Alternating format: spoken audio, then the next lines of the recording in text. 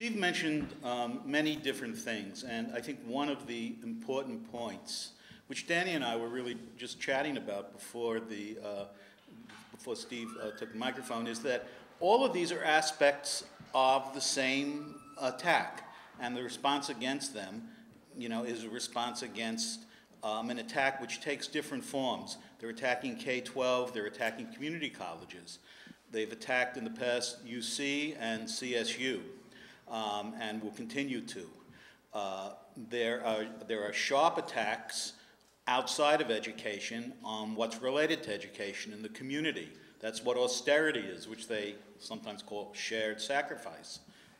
Only who's sharing in that sacrifice?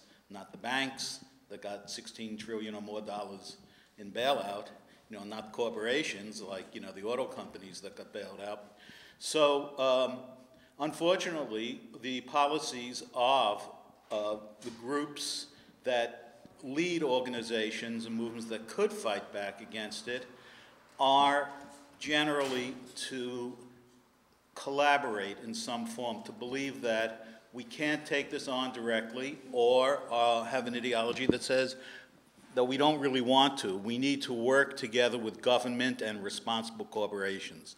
That's been the strategy of the leadership of the two largest, uh, of the AFL-CIO as a whole, but of the largest union in the AFL-CIO, which is, uh, excuse me, the labor movement, which is not the AFL-CIO, which is the National Education Association, which has 3 million members, used to have 3.2 million members only like a year and a half ago, but you know, its winning strategy has already lost a couple hundred thousand jobs. And the American Federation of Teachers, which I think still has about 1.7 million. Together, they make up close to 40% of organized labor in this country. Now, there's an enormous amount that could be done, um, but instead the fight has been a fight um, a collaborative in collaboration uh, with the very people who are orchestrating the attacks against them. Arne Duncan, a longtime ally of Eli Broad, the Los Angeles billionaire, who I think maybe many of you know of now, who basically was given control of the Oakland Unified School District, where I taught, um, when the state took it over 10 years ago. Eli Broad was asked to um, recommend and actually appoint um, de facto uh, the uh, state administrator for Oakland, first Randy Ward, um, then Kim Statham, then Vince Matthews, all of them trained in Eli Broad's Urban Superintendent's Academy, whose motto is the bottom line, the business model for education. Broad said, it's insane to talk about running large corporations from the bottom up, and school districts are large corporations. They need to be run like large corporations. So we treat school districts like corporations, and uh, schools as profit centers, and students as revenue sources. Where bottom line oriented schools must show a profit. How do you show a profit? Increase test scores um, is, the, um, you know, is the main goal. If they don't, shut the schools down um, and make sure that you, uh, that you squeeze. Don't give schools what's really needed in terms of money. Don't give them what's needed in terms of resources. Point to the achievement gap. The achievement gap is real, and the fact of the matter is that schools um, in high poverty areas, and particularly in the black community, have uh, been overall um, disadvantaged and, uh, and education has not been successful there for, for generations. We had in 1954 Brown versus the uh, Board of Education of Topeka, Kansas, which um, supposedly was going to deal with uh, the inequality and segregation. Instead, de facto segregation has actually increased. So it's not that there isn't an achievement gap, but the fact is, and it's been known for half a century, that the root, the biggest problem, the biggest factor in the achievement gap are not in-school factors, although they certainly play a part, but out-of-school factors. In particular, poverty and poverty-related factors, and those are primarily the product of the social division and inequality in this society, the division um, by class and race. And um, those fact that's been known since at least, I mean, it's been known for, forever, but there was a report from uh, Harvard University more than 50 years ago, um, which, uh, which, which found that two thirds of the variation in student test scores, which means two thirds essentially of student achievement as they measure it, were due to out of school factors and only one third to in-school factors. Now, of those in-school factors, many of those are poverty-related because, for example, class size tends to be larger and, uh, and resources far more lacking and uh, far less maintenance in schools in high poverty areas. So, uh, so rather than putting the kind of resources that are needed first into eliminating the inequality in this society, and then even to dealing with the, uh, the resources needed in schools. Instead, they find scapegoats.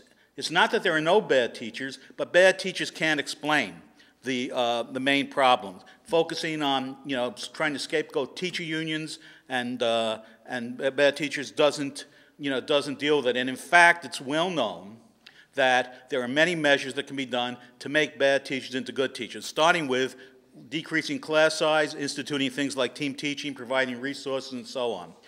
When those measures aren't taken, you can't take seriously, you know, the, um, the scapegoating, which has been in schools, in films like Waiting for Superman and so on, is their main, uh, is their main form of attack.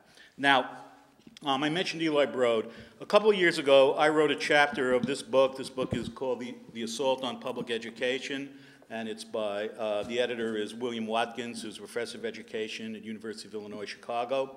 I wrote a chapter for it called The Neoliberal Agenda and the Response of Teacher Unions. Um, and uh, I'm not going to try to go through all of it now. I'll mention one or two things that I think are particularly relevant. I mentioned uh, Eli Broad and uh, I think his role in the business model of education, his role in attempting to uh, really foster and further privatization of education through his Broad Foundation in collaboration with uh, people like Bill Gates and the Bill and Melinda Gates Foundation and the Fishers from the Gap, who have their foundation, and the Walton family, who own Walmart and their foundation, and the Robertson Foundation, and the Hewlett Foundation, and the Packard Foundation, and we can go through the amount of billions that have been fostered, you know, thrown into this. Well, the Broad Urban Superintendents Academy has trained several hundred senior managers, including many superintendents, um, and deputy superintendents in the large urban school district. Most of the large urban school districts in the country have had Broad trainees, either running them or near the top. The first class of the Broad Urban Superintendents Academy graduated in 2002. It was the class of 2001-2002. A year later, Randy Ward, um, who became you know, the, uh, the state administrator in Oakland, named by Broad, uh, graduated. But in 2001, 2002, there were about a dozen, I think there were a dozen trainers in the first class, the inaugural class of the Broad Superintendent's Academy. And they were, um, you know, people like uh, Chester Finn, the noted neocon who runs the, um, the Fordham Institute, and uh, there was the head of uh, Education Trust, uh, and uh, various others. Um, uh, Don McAfee from, from Houston, Center for Education Reform, leaders of the corporate agenda for education, whose essential philosophy is to privatize and overall batter public education, deny funds that are needed from public schools. Um, and uh, who, who, who were the other trainers? There were 10 corporate trainers. Um, and that was not surprising in the, um, in the Broad Institute. But one of the names may be familiar to some of you, and maybe you'll be surprised by it, Randi Weingarten. Um, Randi Weingarten was one of the trainers for this, um, th this group imposing the business model in education and training the leadership around the country. Randi Weingarten was then president of the United Federation of Teachers in New York. Now she's president of the American Federation of Teachers. Randi Weingarten brought merit pay to New York um, five years or so later, um, and, uh, and then went around the country um, helping to push through contracts in collaboration with school districts and with the leadership of the uh, U.S. Department of Education, now Arne Duncan. Um, and uh, when she went from uh, district, for example, the contract in Detroit a few years ago, uh, in that contract, Detroit teachers had to give back about $20,000 in salary apiece as loans back to the district. That was, you know, it, it was, a, it, was, it was a settlement so bad that uh, it, it, was shameful. Like, I, you know, if I had more time go through it, I detail it here. Um, in fact, none of the uh, leadership of that union who went along with Weingarten were elected delegates to the AFT convention that summer. What did Randi Weingarten say about that? She said it was a great settlement, it was a model and a template. Um, and she was serious. There was a model and a template for her. She then went around to other um, school districts Washington, D.C., New Haven, Connecticut, Hartford, Connecticut, Pittsburgh, Pennsylvania, and others. In each of these, uh, she insisted the importance of collaboration with uh, the school districts and in incorporating um, some form of test-based evaluation into, uh, which is high-stakes um, uh, testing accountability, into the contract. The Baltimore, Maryland teachers voted this down, and Weingarten sent a whole team into Baltimore to intimidate them three years ago. So, um, now, why, why does Weingarten act like that? And Dennis Van Roekel, by the way, the um, president of the National Education Association, is not uh, what I would call a, um, a great alternative to, um, to Randi Weingarten. Why do they do this? Is it because they're venal, corrupt people? Well, I don't know. Maybe they are, but um, but that's uh, basically they believe that they can't win, that you can't fight and win, so you have to join, and they you have to join with your opponents, and really they don't quite see them as the opponents. You know, they've come to see it as one very comfortable way of relating. Okay. Um, much of this has occurred over the past close to half a century. Um, there was, people know, uh, may know, there was a very big um, movement uh, organizing public sector uh, worker unions in the late 1950s and 1960s. That's when the teacher unions were organized. In New York City, which was kind of the center uh, of it, there was a public sector virtual strike wave. The strikes were almost as dense as the strikes in the 1930s, though that's not, you know, widely known. Many of these unions were adopting, although on a reformist basis, some form of uh, attempting to embed themselves or work and collaborate with social movements. There was a uh, union of welfare workers, for example, who advocated and worked with welfare rights organizations. Um, and uh, similarly, there were um, hospital workers, um, and even for a little bit, uh, the, the teachers' union. That was very threatening to have unions which were actually looking beyond, um, beyond narrow um, issues, because after all, contractual issues can only go so far. If you're just fighting over um, your individual local's interest, it doesn't lead directly to linking up with others unless there's a mass movement. In the 60s, there were mass movements for social justice. Not just the civil rights movement, though, especially, but also the anti war and anti draft and student movements, and those movements were beginning to link up. Um, and uh, the state was desperate to, uh, to break those up. And so um, they, together with the policies of the leadership, were successful in doing so. I don't want to get in in depth into what happened in Ocean Hill Brownsville, other than to say that for nearly half a century since Ocean Hill Brownsville, um, the, uh, the uh, conflict between the um, experimental school district and board and the, um, and the union leadership, there has been, um, there's, there's been in very few instances of real unity and collaboration um, among uh, and between teacher unions and, uh, and community groups. And that, um, and that combined with the abject failure overall of, um, of education um, in, um, in the black and brown communities provide a target for uh, seized on by the corporate reformers in the education department and so on, saying there's an achievement gap, it's your fault, teachers and teacher unions, um, and uh, you know, parents and community join with us, you know, we're going to find alternatives. You know, charter schools, charter schools are like backdoor vouchers. They get public money, but the boards are privately um, chosen and elected. They're beyond our control, they're beyond the public's control, they're almost entirely non-unionized. Um, and uh, although some of them perform better than comparable public schools, overwhelmingly they perform worse, and that's even shown on studies funded by the charter schools themselves. So, um, we've seen, though, in the past two or three years, we've been seeing signs that that is starting, that those divisions are starting to break up and that there's a basis again for developing fights. Now those fights have to be not just on a narrow union basis, I've been saying, but it has to be fights that are, that link up beyond simple, narrow contractual issues in which each side works together, supports the others, and fights on a program that's fighting against austerity and forced social justice.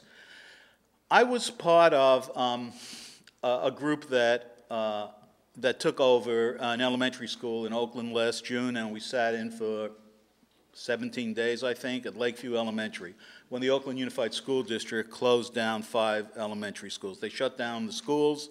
Um, all of the schools um, that were shut down were um, majority, overwhelmingly, black and brown. Four of them um, were um, majority African American, one majority Latino.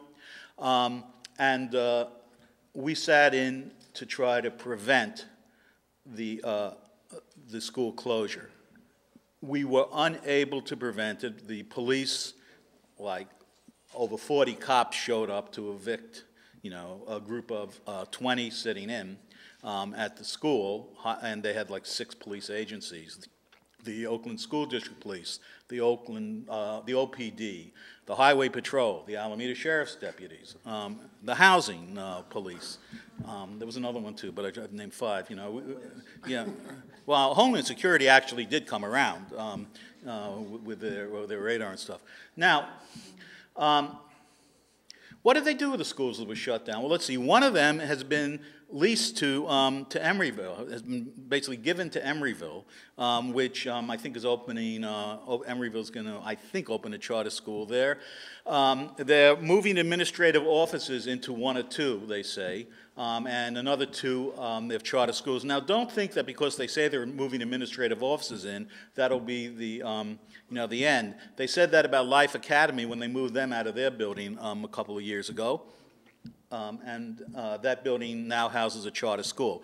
They said that building is unsafe for students to go to school because it's not earthquake proof. They did not earthquake proof it, but they did give it to a charter school. Um, so that gives you an idea of how standards are circumvented and how, the, you know, the one example of collaboration between school management and the, and the charter schools. Okay, now, okay.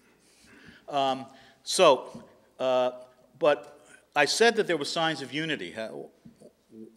The Lakeview sit-in actually, at the Lakeview sit-in, we did not have an awful lot of active support in the community. We had tremendous amount of passive support, by which I mean, uh, I don't remember the last time I was involved um, in an action where there was so many cars, you know, who would come by honking their horn more and more, you know, as the days went on.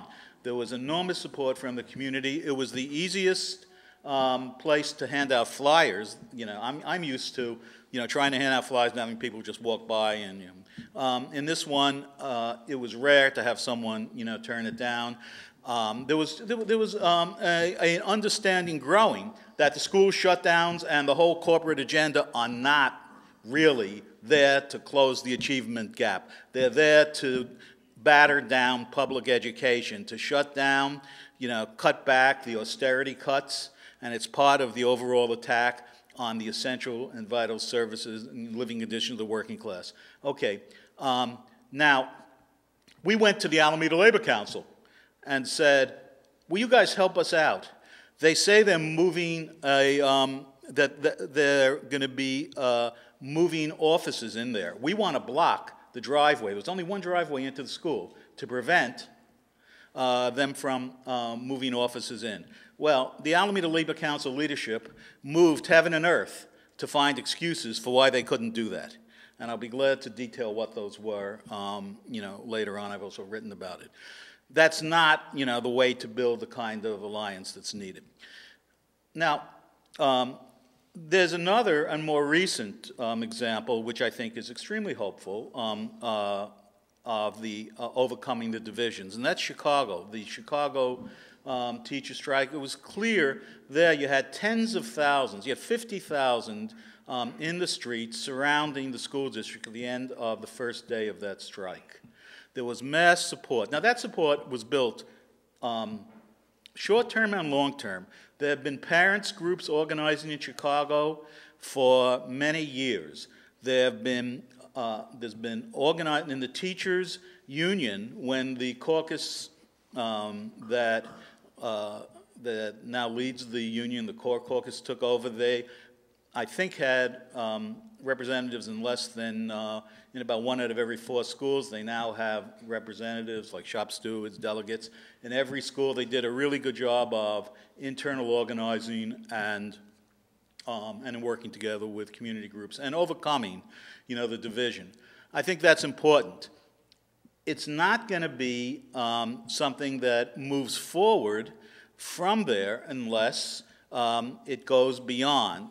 The, there was a contract. I'm not going to go through, you know, the, uh, you know, what, what the settlement was. I'll be glad to do that, you know, the pros and cons from my point of view in the discussion.